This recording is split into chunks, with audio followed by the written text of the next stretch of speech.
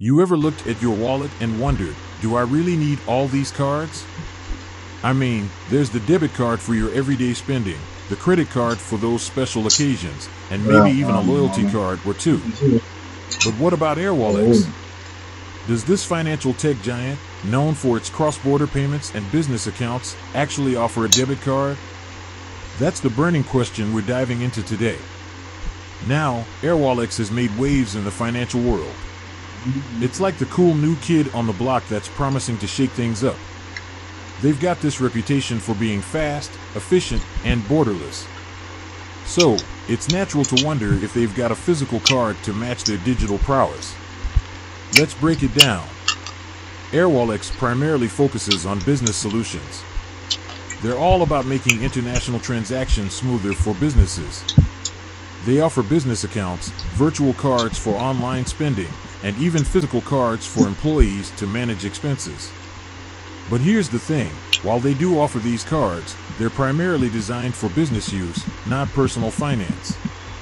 Think of it like this AirWallex is more of a corporate card company than a personal finance one.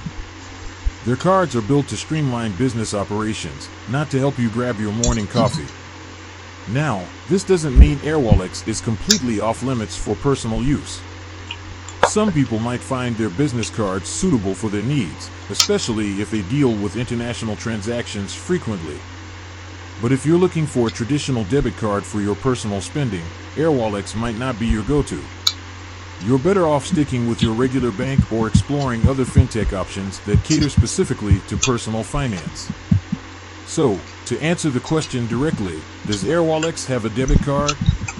Technically, yes. But is it the right debit card for you? That depends on your financial needs. If you're a business owner looking for efficient expense management, AirWallex could be a game changer. But if you're just an average Joe looking for a card to buy groceries, you might want to explore other options. There you have it. The truth about AirWallex and debit cards. It's not as simple as a yes or no answer. It's about understanding what AirWallex is designed for and whether it aligns with your financial goals. With that said, thanks for watching and until next time.